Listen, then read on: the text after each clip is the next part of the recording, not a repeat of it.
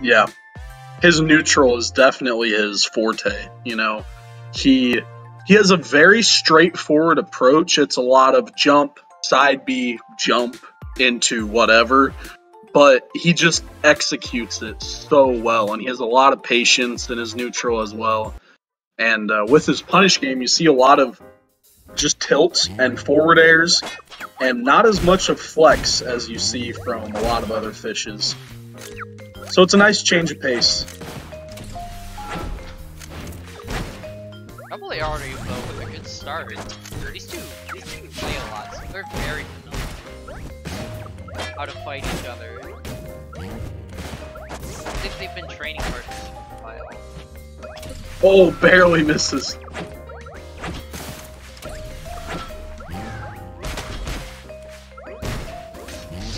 But yeah, like you were saying, these two play together a lot. They know each other's character, they know each other's individual play style, and uh, it's always fun seeing them fight. I love the like close quarters dancing.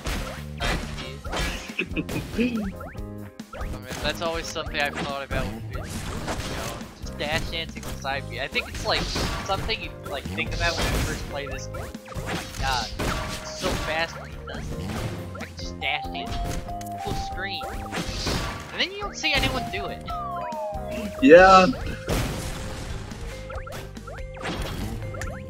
Pretty even right now. Both at three stocks. How barely missing. Oh, the fireball shenanigans from already coming out. Love the call out there. And if you haven't seen Double A play before, uh, this is a player known for using the fireball. They pretty much base their entire play around it, and a lot of their play includes setting up traps and whatever else with fireball. And they're kind of just playing chess while you're playing Slap City. That's pretty much, pretty much how it works. Double A plays Goddess how like a lot of Goddess player. Oh, I've got all these setups with Fireball. But you know, as you start to play Goddess more, you realize that's really hard. And she's just good in like other aspects, so I'm gonna focus on that instead. Double A full spec into being the Fireball master. Oh my god, that's dead. Absolutely crazy. Extra credit you can get this dog. Oh, it just goes for the, the raw up B. That's a that's a Cosmos specialty. Cosmos will just up B over and over and over. Uh, without carrying him off stage. That's dead. Great. Fast stack for game one. Pretty hefty lead. Yeah. Fifty percent's nothing to nothing to laugh at. But as we know, Fish has an extremely explosive combo game, and if Double A or if Cosmos touches Double A, that could mean death. Yeah, Cosmos is such an expert finding like goddess. Like, I feel like most other people like fighting goddess kind of struggle to kill her. Heavy, floaty, she's comboed hard, it's instant, and she, you know, the eyes blink. But Cosmos is so good at finding ways to skill out the stocks early versus relatively goddess. Definitely. Cosmos closing that gap though, racking up some percent on double A. It's looking like it's just going to come down to whoever can land a stray smash attack. Oh, the good up B.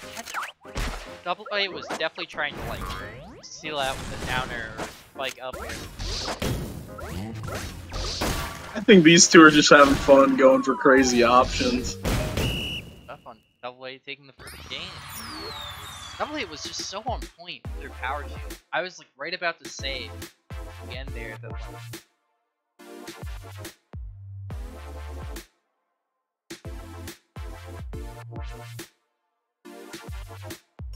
that uh Double A's just been like power shielding so reliably Cosmos. Cosmos something he's really big on. Coming down with like Fish Bear.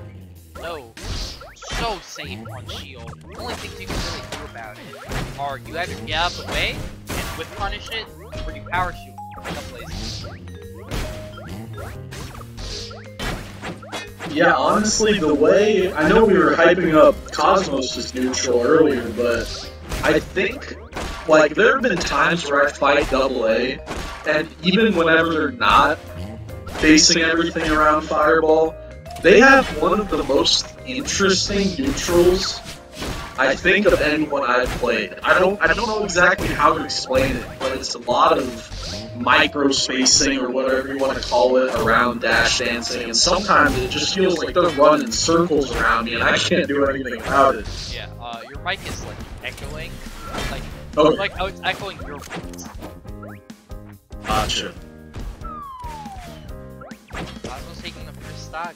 Pretty good situation for double A. Few good hits, get a grab, up throw, up throw, knocks it over. Uh, I don't want to see that though, but up B's on stage. I have a bad habit, uh, double kind of has, he will Uppy on stage a lot. Um, though it's like, he knows, he's gotta know, it's super punishing. Nice F strong there. All the way across. Uh oh. That could be dead. Cosmo's not gonna close out the stock double A. They could have like down or something when he came back on stage.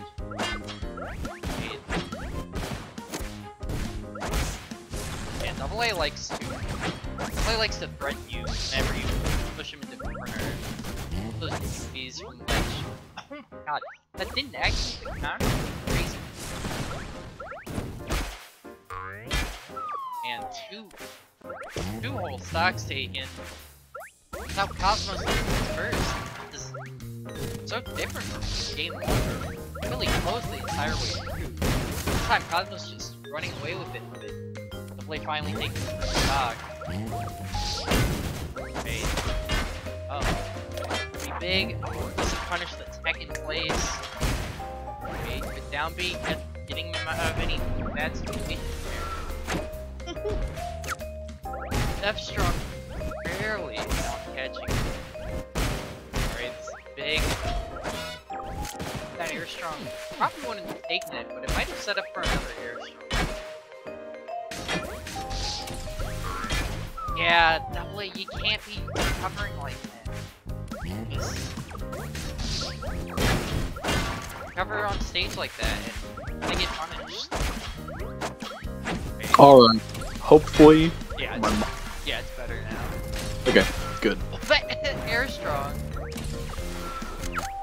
Oh, Oh get man. the funny fish down throw. Oh, you love to see the down throw. I forgot the update. Yep, 1 1.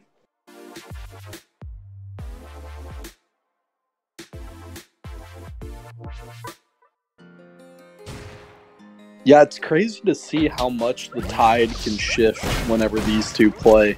It's like one game, one of them will win. The very next game, Cosmos gets a three stock. and it's just normal for these guys.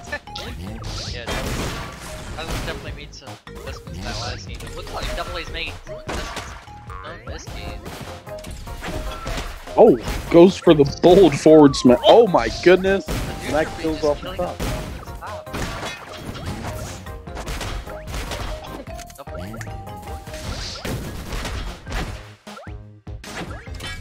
Oh, goes for the ricochet. Uh, like Cosmos is like getting openings. I don't know, he's getting counter hit by double A. Yeah, we're not we're not seeing uh, really any huge punishes from Cosmos, which you know, like we said, he's not particularly known for his crazy punish, but I feel as though he typically gets a bit more off of uh, his hits than what we're seeing right here. Yeah, for sure. They're just playing the mind games, hitting the fireball back and forth. Yeah. Ooh, good F shot. Good second place. Uh oh. Oh, almost catches.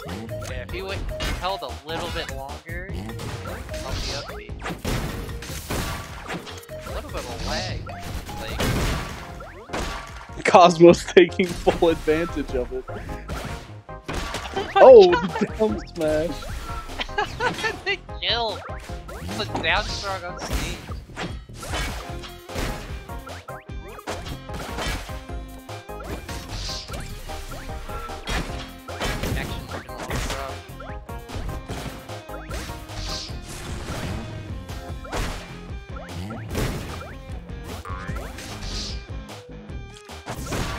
Oh, so unfortunate.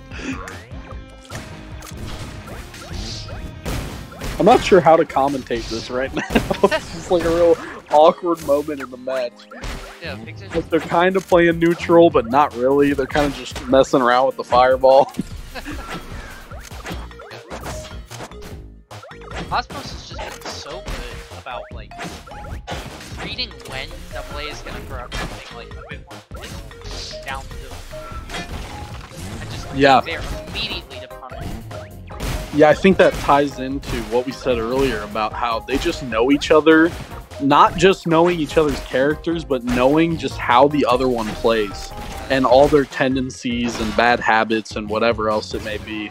They just know each other because they play so much and they play in tournaments so much as well. Oh, That's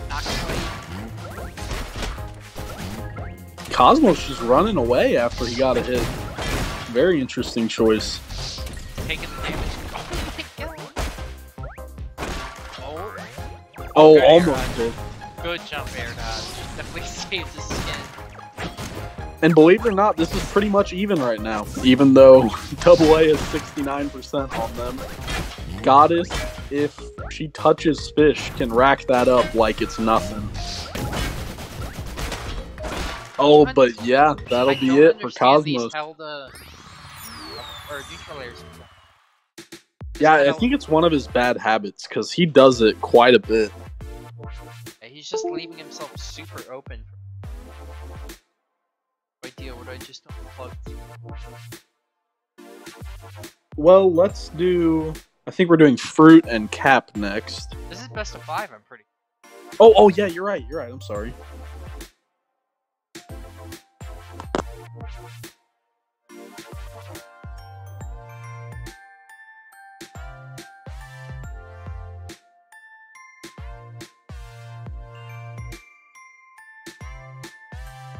Taking a little bit of a double A, maybe taking a little bit of a breather between games.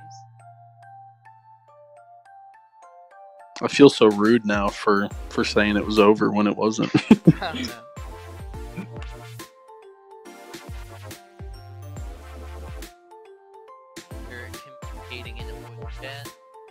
yeah, I, I would imagine so.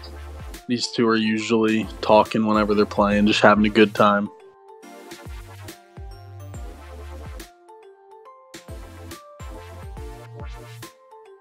But Cosmos doing pretty well. Um, one of my biggest complaints, I guess, about Double A's Goddess is yes, they're really good at using the fireball, but I feel like they sacrifice a lot of goddesses really solid, consistent punish options by just going for crazy stuff with fireball, which I respect. I mean, if you know who I am as a player, Yeah. I always just try to do whatever's cool. I so I get it, It's but just a uh, thing. in a I- tournament setting, It's just a thing I see with a lot of goddesses. They they kind of they they get attracted by like all goddesses like a lot of this fireball, the counters, the F smashes. Kind of kind of don't really capitalize um some of goddesses like better at- other attributes like good range, fantastic ground speed, being tied best in the game with in terms of uh, how fast they are on the ground. Definitely, is definitely like makes it work really well. yeah, it's it's cool though to see you know how Double A's approach to Goddess is so different than any other Goddess player that Slap has ever seen. You know, they base everything around that one move pretty much. And while it may not be optimal all the time, you know, it's it's cool to see. Double A is just double A uses fireball like it's a normal projectile. Yeah. It's a, like it's a fireball. Right? That that's how I I've heard it compared. Is like they treat it like they're just throwing you know a. Use it to control space a lot more than other people use fireball. Other people are kind of using other goddesses will just use fireball. Oh, I'm gonna bait them into attacking. That's kind of all they do. Double A uses it to kind of threaten space a lot, and he's he's ready to like punish you. Like, okay, I'm just not gonna not gonna interact with fireball. He's just so good at like utilizing every part of it. That's not quite dead. Oh, barely misses with that dumbbell. That catch cancel. Big punish. Yeah, that's Oh, I love that. Love that. Looking like we're gonna go to game five here. Double A in a nice spot. He's just got such a strong lead, but I wouldn't count. Yeah, any, definitely if any not. player in the world overcome this deficit right now, I think it's possible. The reason I'm saying that, play not letting that happen, just immediately killing him. It's the same thing again. That neutral B into air strong is so cool. And they're going right back into it. No delay. Game five. And as we've seen throughout the set, uh, their games are pretty much just a toss up. It's just whoever does better in that one game.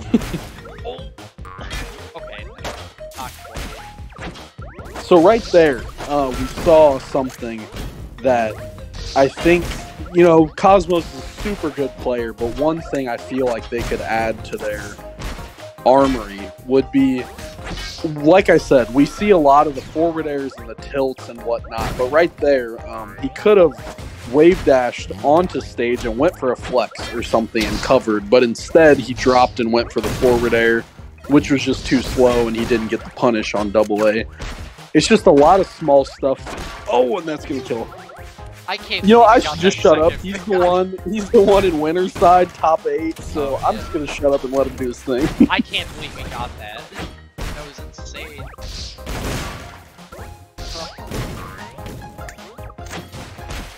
Cosmo's looking pretty good. pretty good. Alright. Oh, that play just didn't hold it long. He thought, you know, Cosmos would been able to get out of it, but Cosmos Oh. gotta stop doing that. He just keeps, he just keeps daring onto the, uh, fireball.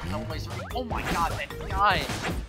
Yeah, right now I think he's kind of just going with the momentum and just running at double A, which I, I respect Uh, it. he's just letting God take the wheel. I guess.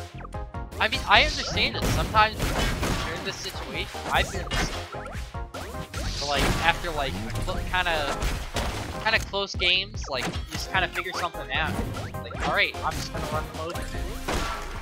Yeah, I mean it definitely it's working as we're seeing right now. He's kind of kind of messing up double A right now.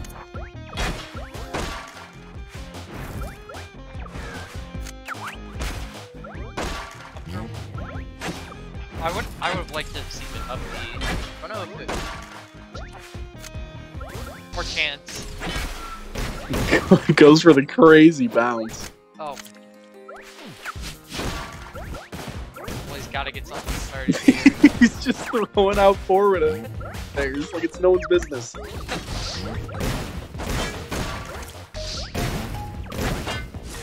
Oh, That's dead? No. Oh, that's. I think that's it. Yeah. what the? what a way to end. Cosmos sending double A, sending them uh, crying back to, or not back to loser side, but sending them crying to losers.